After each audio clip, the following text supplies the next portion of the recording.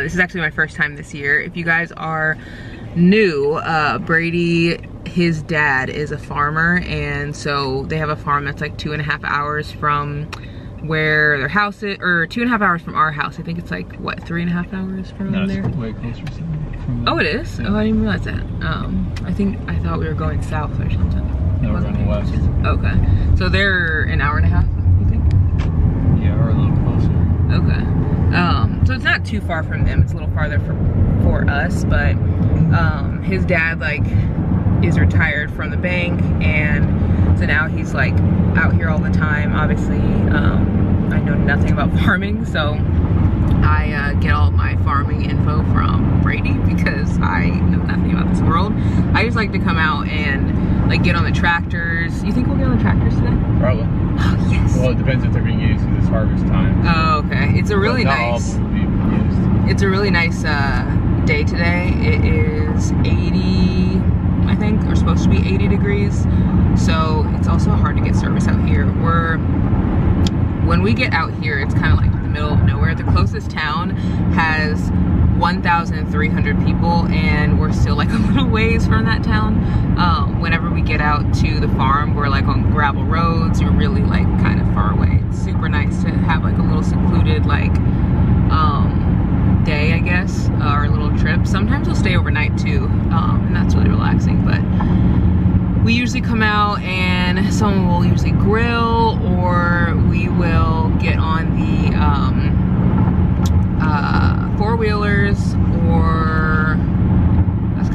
I guess. Um, and like play with the kids. Oh yeah, there's a pond. Um, so we'll go to like the pond. Uh, Bane loves to swim in it and fishing that day. There. Oh, nice. Um, isn't there like a a little thing that we got on that one time? Didn't your dad buy? paddle boat. Yeah, paddle boat. Um, so there's a paddle boat out there now, so we can actually go out on the water. Um, and Bane loves to swim, so there's like a lot of nice little things to do, but it's just kind of like a nice little getaway. And we'll like set up little picnic chairs by the pond, just like watch the dog.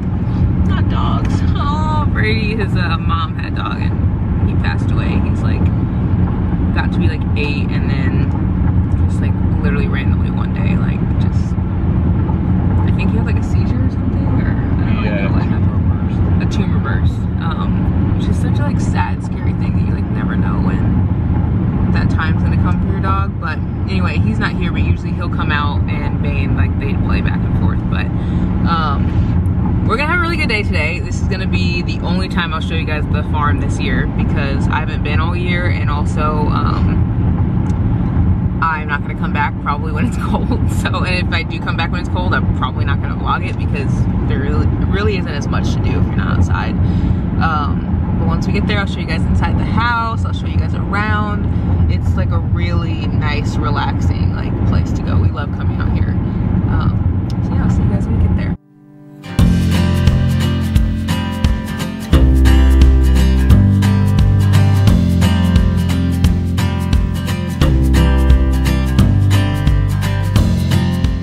Made it to the house. This is what it looks like on the front. Bane, he loves going out there because he can smell all of the um, deer that are out.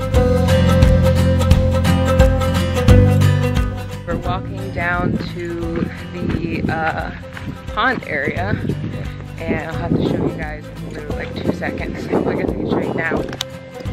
This is where the water is and Bane, you can just barely see him. He's like right down there. Um, they rode the four-wheelers over, but we wanted to walk. Hi, Bud! he loves being out here by the water. Hi, Bud! Hey, baby boy! He looks so happy. He just got out in the water. Hi! Uh, he's so funny. He would literally love being a farm dog. Hi, happy boy. There goes. Yep. Hey, you like being in the water? You like being in the water?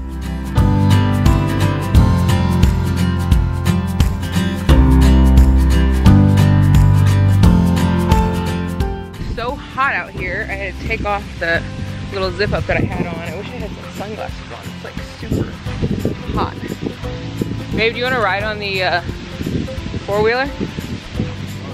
give her a go.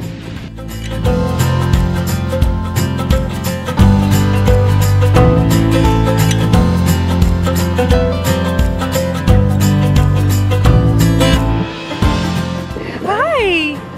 Hi there. All right, let's go down, You ready? Let's go this way. Bane. Let's go. Let's go get him. Let's go get him. He like thinks that he needs to bark this.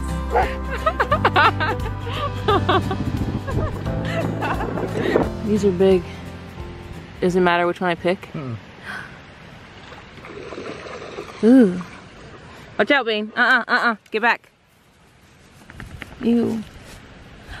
Uh. Uh. Alright, put it on the hook. Ew, you put it on there. How do I do it? Here, you just kind of cut it in half. Cut it in half. Absolutely not.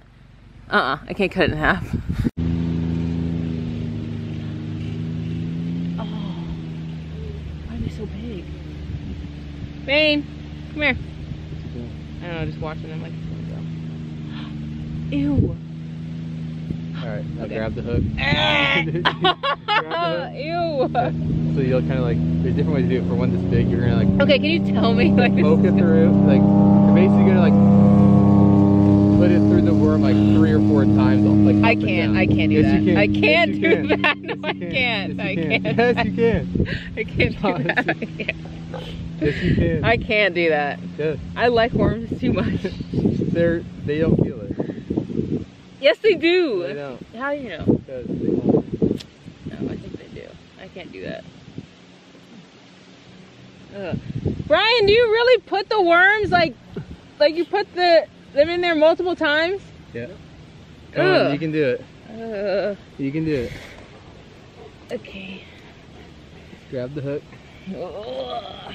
Where's the thing? Once you start it, Where's- it's fine. Um, Where'd it go?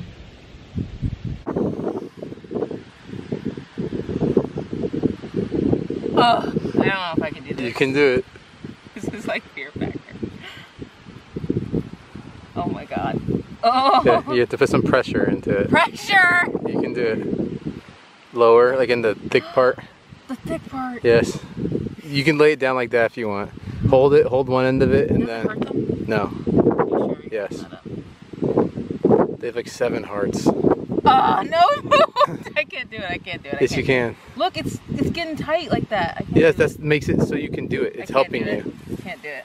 Yes, you can. Uh-uh. Tap out. I can't do it. Come on. You do it. I can't do it. Yes, you can. Uh-uh. Oh, you got one. Woo! Oh wow! Wow, looks good. You mean? It's a fish off. Who will get the fish? Brian or Brady? So you hold it back here, Uh-huh.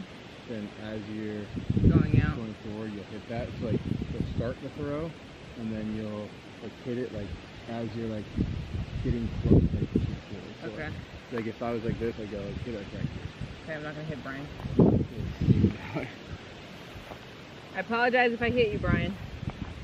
Use two. Use two, both hands. Both hands. Yeah. Yeah. Yep. Oh, that worm just. They made it out there. Barely. Uh, I try again. You can. You might just let it sit there for a second. See if anything bites. It's a long line. Should I pull it a little bit? You can tighten it a little bit.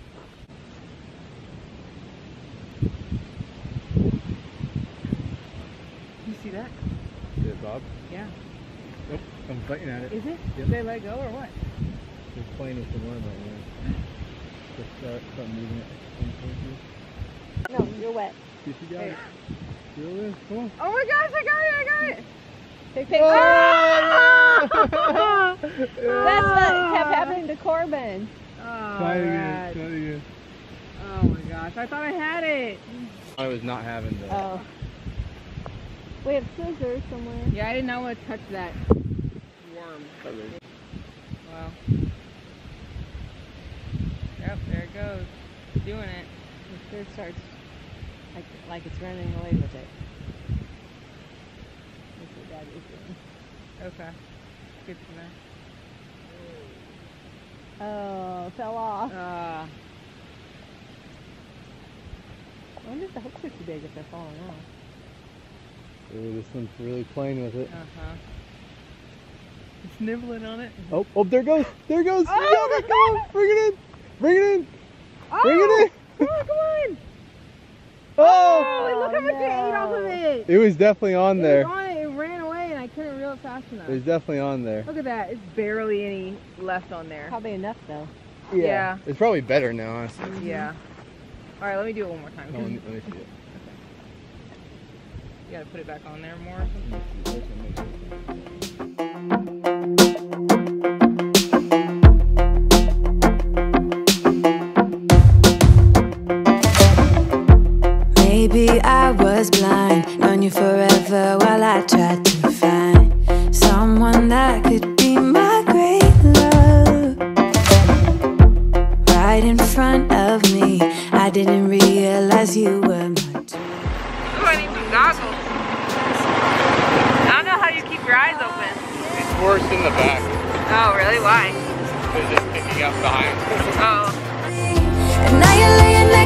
me. Everything feels like oh.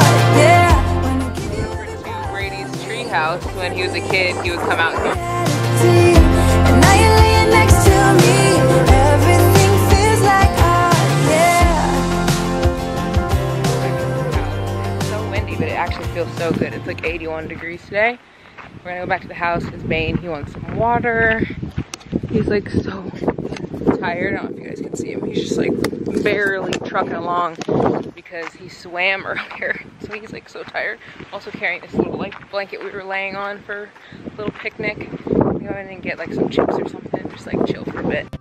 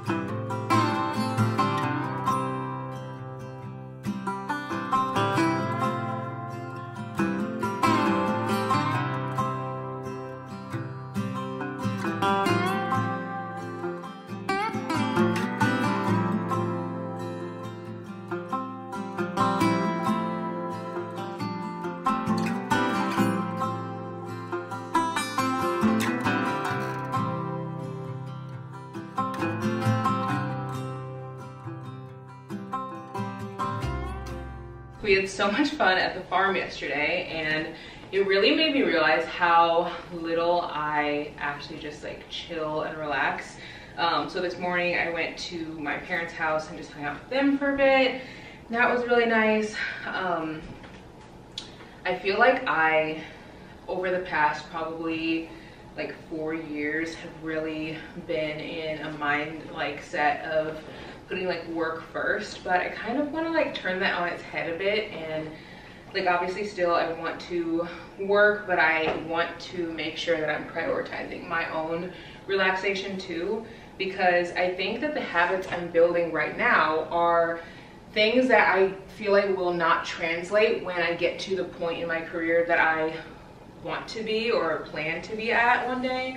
Like I think I always tell myself like whenever I get to where I want to be in my career, I will slow down, but for one I forget like I'm literally living right now. So like tomorrow isn't really promised. So I feel like I should make sure that I'm also like prioritizing myself and another thing I think that I don't think about is that the habits I'm making for myself right now whenever I get to where I plan on being in my career, will I actually be able to like slow down or will I like just constantly work? Like I don't think that working is a bad thing at all, but I think you can get into the habit of not knowing how to relax when you work so much.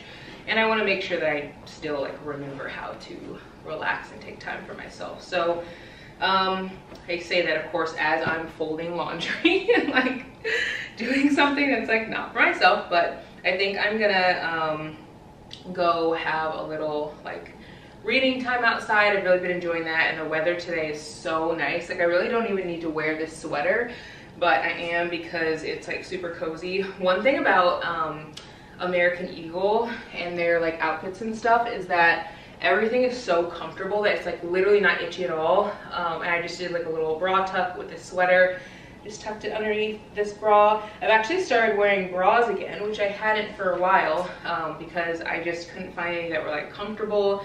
Um, but the Skims bras are super comfortable, so I really like those. And they don't feel like I'm actually wearing anything at all. It's just like, I don't know, feels like literally like another skin on top of my skin. So I'm super comfortable wearing them. Um, I actually have a couple packages and I think one of the packages that came in is a Skims package, so I'm gonna open that up um, in a second here. I also have some flowers that I wanna cut up and get kind of like, I don't know, set out in the house. I just haven't done it yet. So I think maybe I'll do that after I um, go outside for a little bit. Actually, let's go open the packages now. Um, I'm gonna put this up real quick and we can go open the packages and I'll show you guys what I got.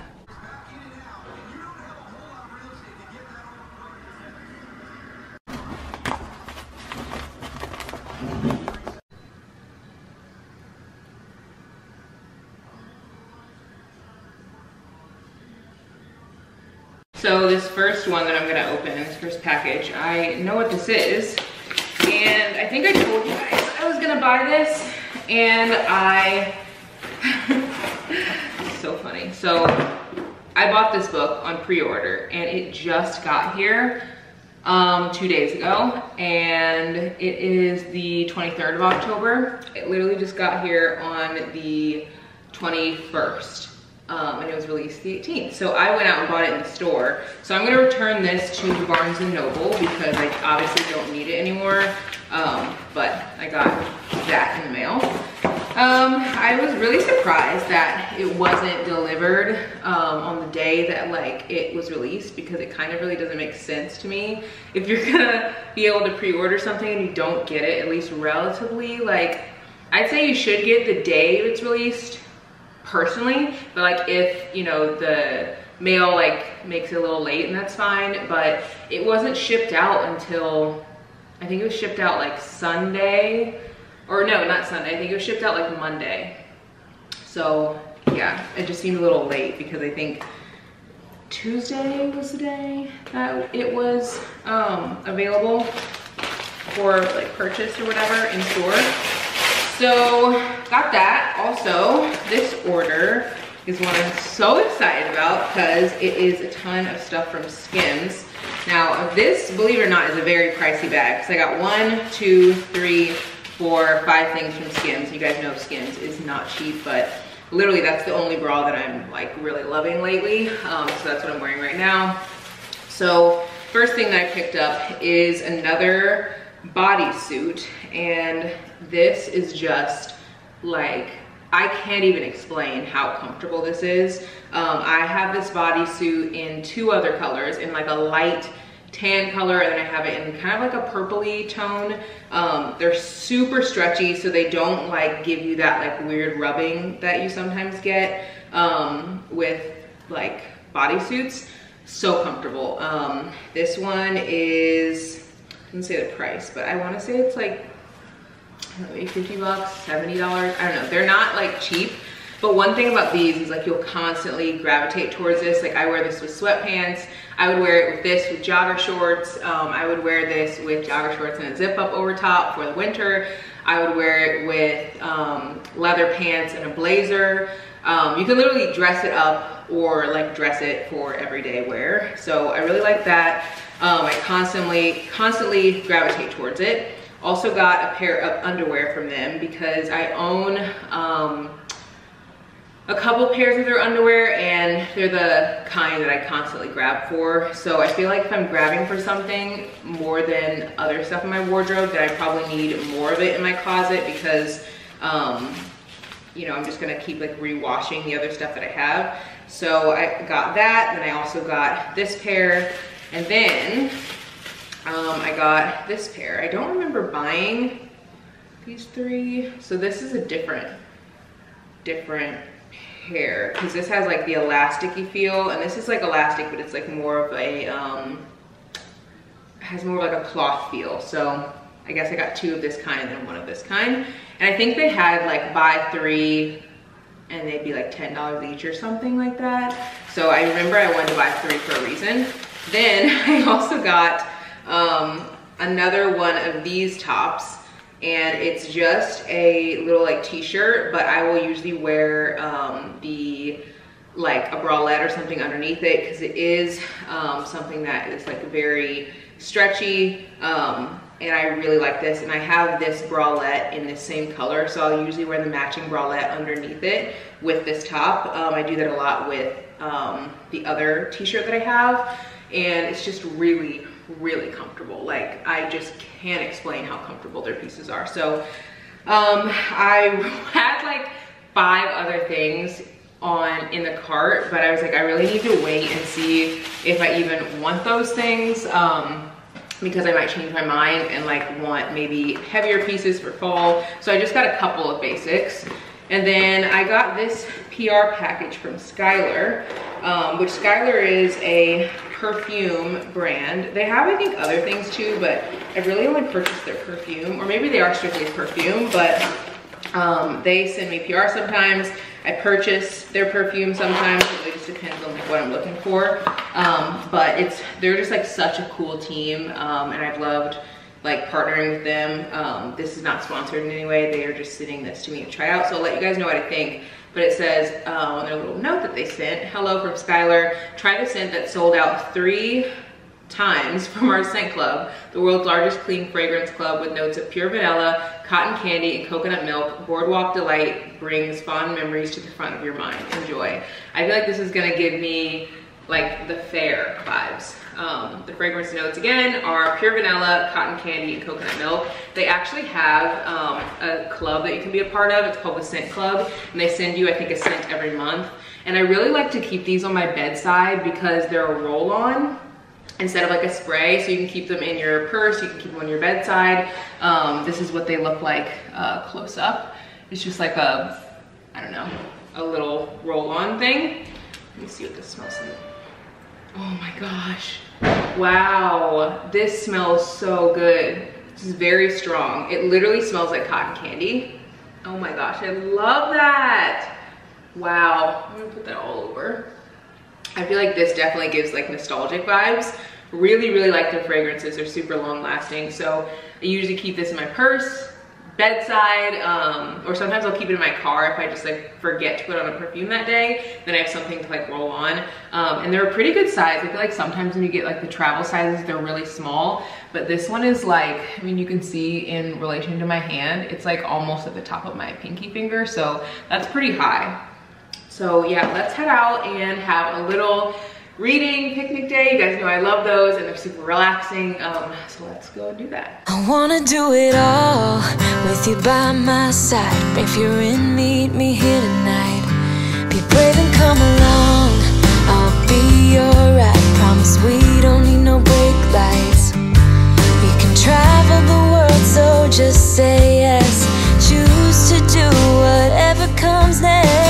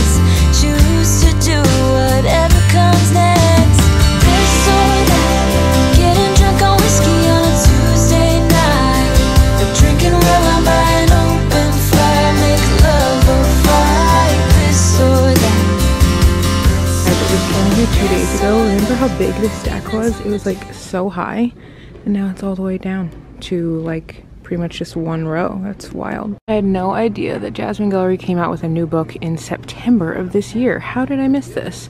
And it looks like it is a love story that's set in a winery. I looked at it on Goodreads and the reviews I think are like four or like three and a half stars. So I think that's like pretty good, but I don't know if I want to pick up another book just yet because I have so many. I'm gonna look around a little bit more and see what else is in here. Think they're refilling this like book section because all the books from the last, like when I came in here the other day, all the books that were on this side are now like moved over here, like Love in Other Words is over here and it was like right in front of me. But I saw this book and I don't even know what it's about, just the cover intrigued me. It's says asking for a friend and it kind of looks like two like shy people in the front. It says three best friends are going to solve their relationship woes once and for all. 40 something Jim Jemima, hmm, interesting. Her life is on track. Well, sort of. She just needs to bat her troublesome ex away for good. 20-something Megan has a five-phase plan and is nearly ready for phase three, a relationship. And 30-something Simi has had more it's not used than I do's. These best friends decide it's time to ditch the dating apps and play the love game by their own rules. They're going to ask people out in real life, but only for each other. What could possibly go wrong? This actually looks really good. I feel like this maybe would be set better as a movie. I don't know why I think that, but like sometimes when I get like, um, see like the back of books, I'm just wondering how like they can make this appealing in a book when there's not like a visual. Oh, I'm literally about to drop this. This could be good.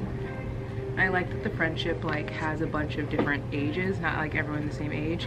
It looks like the chapters are like by name. So this one's Jemima and then this one like right after it is Megan. Well, if I can find it. These chapters are kind of long. And this one's Simi. This could be a good one. Never read this book, but I saw this one up here, which made me want to look at the rest of the books. And this, I guess, is the first book. Um, Get a Life, Chloe Brown is a girl who I think is like really sick and she's wanting to like pretty much live out all these like fun nights and so she ends up falling for this guy I think. But this was like four stars on Goodreads. I feel like I'm really into this Goodreads kick where I'm looking at reviews. Which kind of makes it easy for like looking for good books.